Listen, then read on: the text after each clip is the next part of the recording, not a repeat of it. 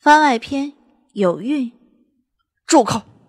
信朝阳陡然喝道，面色浮现浓浓的怒意。顾十八娘被他喝得一愣。自认识以来，信朝阳一直是温文尔雅、和气待人的，从来没见过他有过冷脸，更不用提生气了。被说中了吧？顾十八娘愣过之后，立刻竖眉冷笑：“哼，跟我结婚，该有的利益没有预想那么大。”后悔了吧？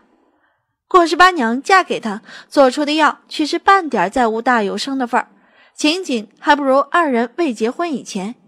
古香，信朝阳喝断他的话，面色已然铁青。但又说话，面前的顾十八娘忽的剧烈挣扎，从他手里脱身，疾步向一旁摆着的青瓷痰盂冲去，弯身呕吐起来。气得该吐的是我。信朝阳气得咬牙说道。脚下却是未停，站在他身后，轻轻拍抚他的背。顾十八娘有心甩开他的手，却是一点力气也没有。这是怎么了？信朝阳皱眉，见他似乎要将肝肺胆汁都吐出来了，也顾不得生气，忙转身唤丫鬟去找大夫来。这条街上最不缺的就是大夫，不多时就赶过来一位。顾十八娘已经吐完了，正自己拿着手帕擦泪，不接信朝阳递来的水，挣扎着去自己倒。信朝阳沉着脸跟着。最近大娘子不爱吃饭，睡得也不好。小丫鬟在一旁啰啰嗦嗦的介绍病情。大夫点着头，仔细的诊脉，眉头慢慢的皱起。怎么样？信朝阳见他皱眉，只觉得心沉了下去。顾十八娘体内残毒未消，虽然说避开炼膏就好，但毕竟是一块心病啊。恭喜大娘子啦！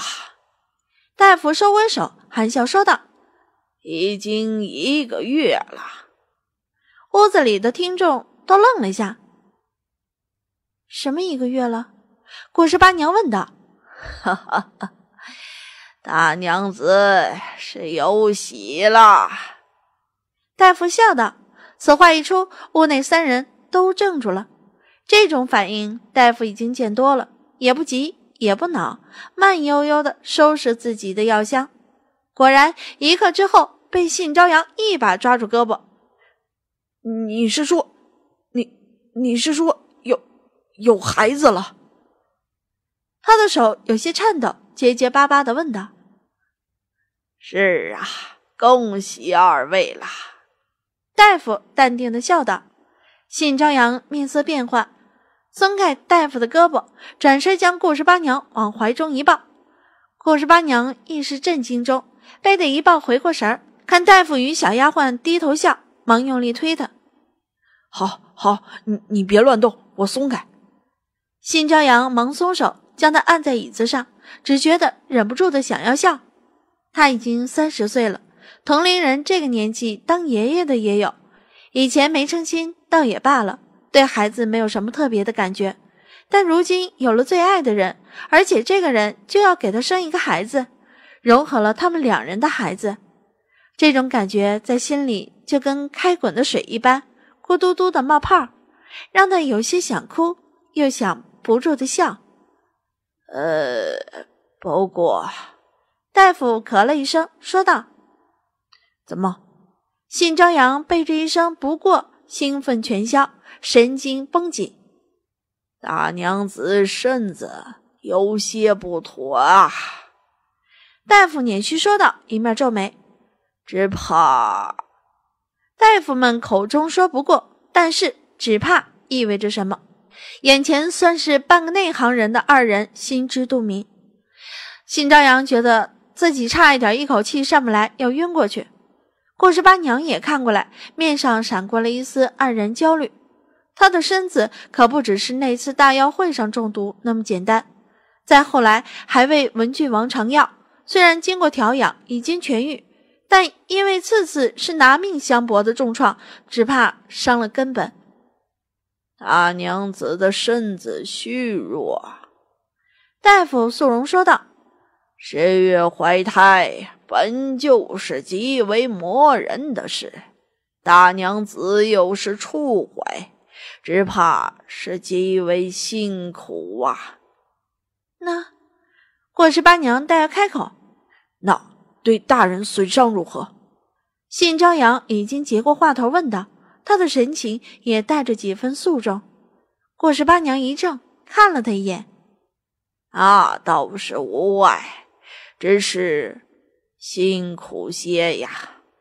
大夫忽地又笑了，捻须道：“吃不好，睡不好，比其他孕妇要辛苦些。”听得如此说，二人暂时松了口气。吃些什么补药？信朝阳只觉得手心都是汗，忙问道：“哈哈哈，不用刻意的补，虽然辛苦。”但大娘子能吃，还要多吃，吐了再吃也得吃。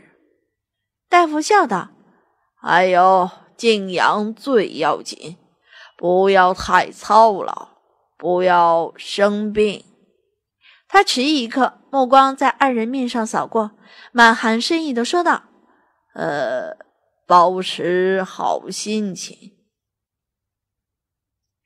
小夫妻拌嘴是掩不住的。信朝阳面上一丝懊悔，过十八娘则低下头。送走大夫，家里人都惊醒了，听闻喜事都前来恭喜。大娘子今天没怎么吃东西。丫鬟想到什么，忙忙的说道：“没吃。”信朝阳看了顾十八娘一眼，见她倚在床头，垂着视线，慢慢的吃茶，便走过去，放低声音道：“想吃什么？”我是会饿着自己的人吗？顾十八娘不咸不淡的道：“想吃，我会不吃吗？”信朝阳被他噎了下，去煮些粥来吧，再要几样清淡的小菜。过十八娘抬眼对恨不得把头埋进脖子里的丫鬟说道：“丫鬟是如蒙大赦，忙应声是出去了。室内又恢复了安静。过十八娘吃完手里的茶，起身要去放。”一旁的信朝阳要接过，被他挡开了。十八娘，别闹了。信朝阳叹口气，顺手将他抱在怀里。过十八娘挣了几次挣不脱，又不敢太过用力，只得任他抱着。信朝阳也不说话，只是这样抱着他。不知道过了多久，过十八娘的僵直的身子软了下来。十八娘，信朝阳这时才开口，下颚轻轻地蹭着她的发鬓。我们成亲是为了过一辈子的，不是为了随时和离的。说着话，感觉怀里的人身子又是一僵，他便用力的将他再往怀里抱了抱。十八娘，我知道你是讲道理的人，你想想，我彻夜赶来，满心欢喜的见你，迎头却是一击。十八娘，我其实也是个俗人，我不是想要拴着你在身边，我只是想要你心里有我。他低声道：“我心里怎么会没有你？”顾十八娘闷声开口：“我不是在和你商量吗？”“ 你那是商量吗？”辛朝阳笑了笑，伸手扳过他的脸，看他。顾十八娘眼圈微红，硬生生的扭开头不看他。“我是个女子，本就不如男儿得力，只能比别人更辛苦。”他带着几分哽咽：“我难道？”不想和你不分离，日日夜夜厮守，可是我不敢。逆水行舟，不进则退，我不敢松懈一刻。他的话没有说完，再次被信朝阳扳过脸，略有些粗暴的吻住了唇。从最初的挣扎抗拒，到渐渐的软下，伸手揽住他的脖颈，迎合，直吻到二人都喘不过气，才分开。以后再生气也不许再说那两个字。